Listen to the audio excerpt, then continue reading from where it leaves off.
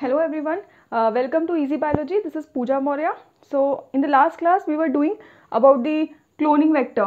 तो हमने plasmid vector की बात करी थी। तो प्लाज्मिड वेक्टर में we have seen about the ori that there is a origin of replication तो I have told you that pro prokaryotes में हमारे पास वन ओराई होते हैं and in eukaryotes we have multiple oris there then we have talked about the selectable marker selectable marker में क्या होता है? There are certain antibiotics which are present in the plasmid which actually helps the uh, recombinant or the transformants to get selected. Next is the uh, vectors for the plants and animals. तो plants के लिए हम vector use करते हैं generally agrobacterium tumefaciens को and uh, in the animals animals में हम retrovirus को use कर सकते हैं as a vector. इसके बाद हमने और दूसरे प्लाज्मिड वेक्टर किए थे जैसे बैक्टीरियोफाज वेक्टर्स किए थे तो बैक्टीरियोफाज वेक्टर्स में I have told you there are two categories like the lambda phage and the M thirteen तो लैमडाफाज में there are four hundred forty eight thousand five hundred base pairs जिसमें कि आगे uh, मतलब पीछे की तरफ़ एंड थोड़ा सा आगे की तरफ़ में there are twelve twelve base pairs which are single single standard and they are palindromic to each other and they will uh, form a circular ring when it get inserted into the E. coli. So M13 में क्या है M13 में there is a F pilus like structure present there और जब ये circular होते हैं they form the replicative form तो इसमें less than ten K B base pair का जो डीएनए है, वो हम इंसर्ट कर सकते हैं।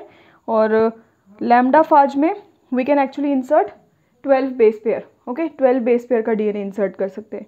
Then we have cosmid cosmid cosmid किससे बने? Cos site plus the plasmid DNA को मिलाकर। तो कॉजमिड में हम 45 फाइव के बी बे के बी लेंथ का डीएनए इंसर्ट कर सकते हैं।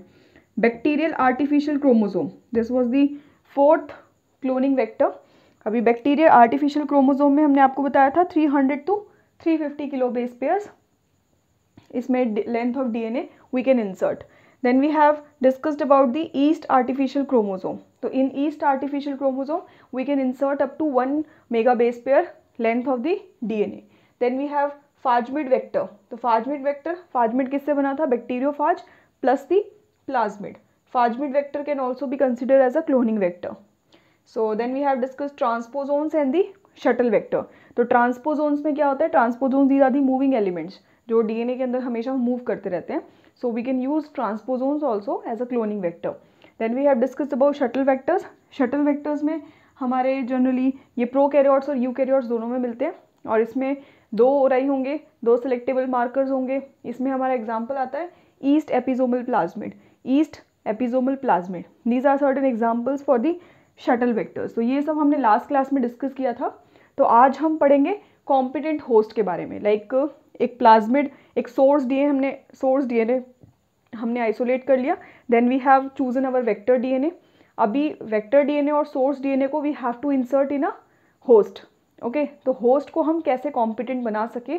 So that it would be having that capability to actually adjust that और you can say intake actually intake of that vector DNA और the recombinant DNA in the host इसके लिए हम उसको बोलते हैं competent that it actually attains that capability to introduce that DNA into its own DNA okay? So we will study about the competent host.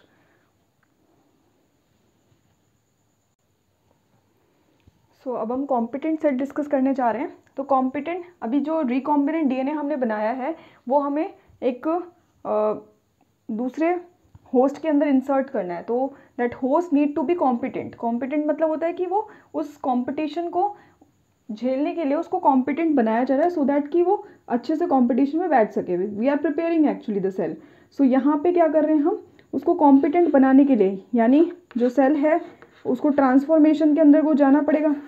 Transformation में क्या होता है? जो भी सेल है, जो ट्रांसफॉर्मेशन करेगा तो जो भी चेंजेस आएँगे उसके अंदर, वो उसके लिए रेडी हो। पूरी तरह से कि जो भी चेंजेस आ रहे हैं सेल के अंदर या आने वाले हैं होस्ट के अंदर ही should be very competent for it ये हम ट्रांसफॉर्मेशन में जनरली कराते हैं.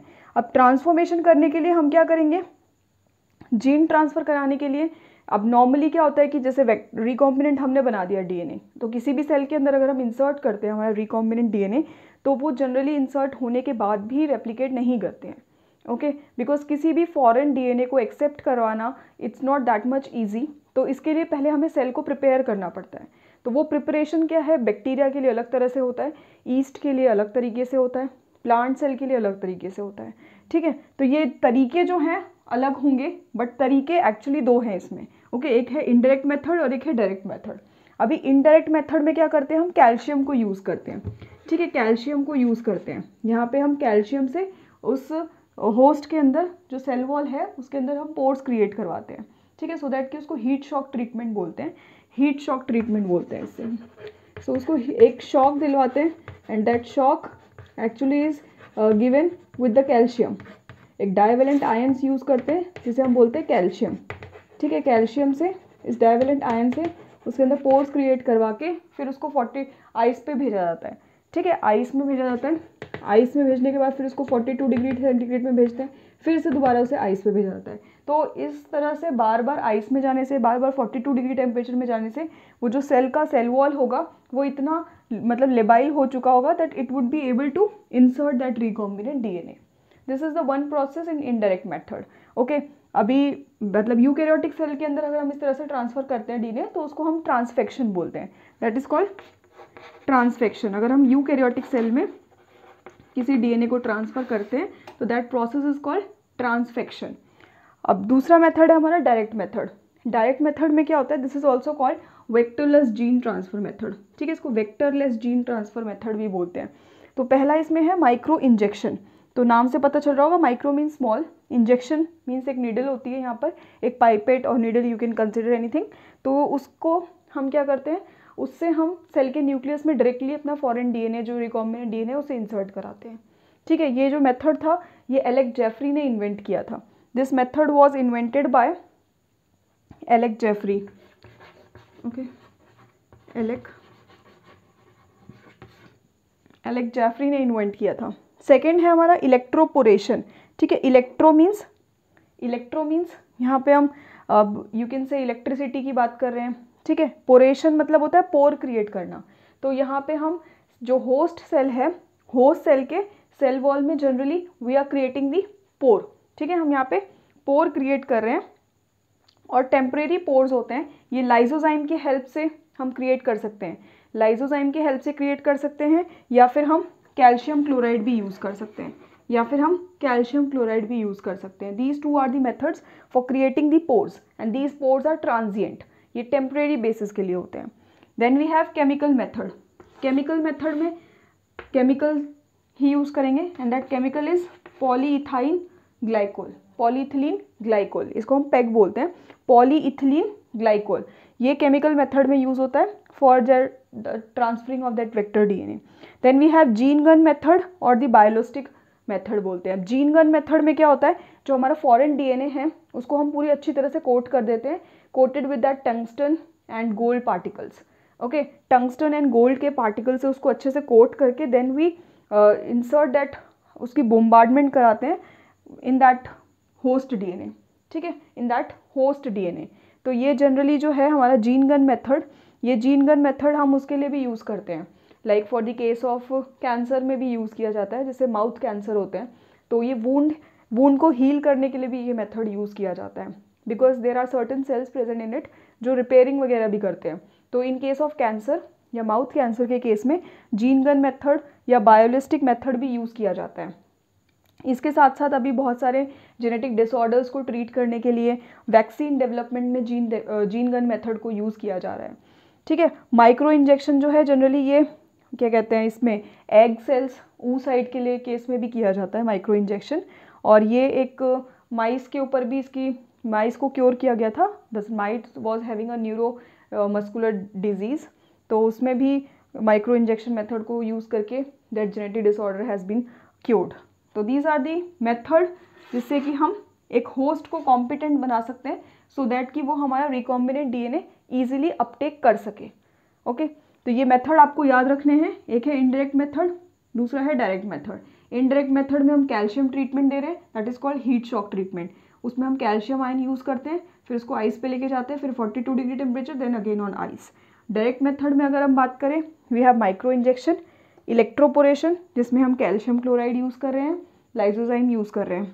केमिकल मेथड में we are using polyethylene glycol gene gun method में we are using tungsten and gold particles coated coated with that foreign DNA जिसकी bombardment करा रहे हैं हम to just take that host DNA to that to make competent the host DNA ठीक है transfection कब बोलते हैं जब यूकेरियोटिक सेल में अगर जीन ट्रांसफ़र कर रहे हैं।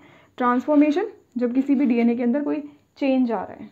Okay actually we are changing the genetic makeup So this is all about the competent host. So in the next part of the video, we will learn about the procedure. अब हमने tools complete कर लिए सबसे starting में हमने start किया था what was the biotechnology then we have done its processes process में हमने उसके टूल्स डिस्कस किए थे। प्रोसेस में जेनेटिक इंजीनियरिंग केमिकल इंजीनियरिंग किया था। Then we have discussed about the tools tools में हमने एंजाइम डिस्कस किए थे। एंजाइम्स में हमने cleave cleaving enzyme ligating enzymes then we have discussed about cloning vector this was the third part competent host ये tools हैं।